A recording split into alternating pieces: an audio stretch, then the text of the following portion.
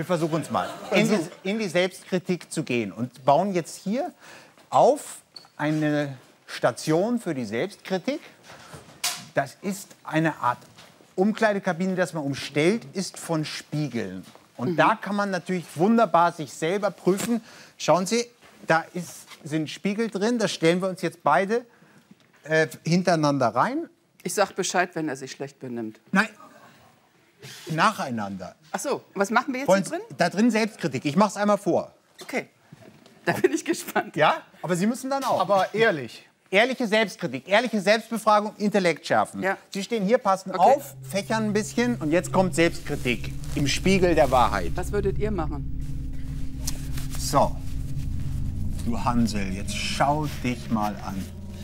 Was ist aus dir geworden?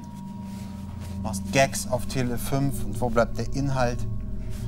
Wolltest es netter mit Frau Dittfurt und dann quatschst du ihr immer rein. Sehr stark geschminkt, Haare aus dem Ohr, Schminke hier. Ich könnte kotzen, dafür bin ich nicht angetreten.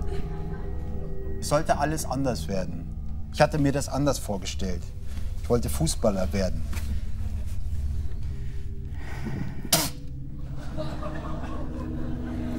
Eklig. Ekelhafter Typ.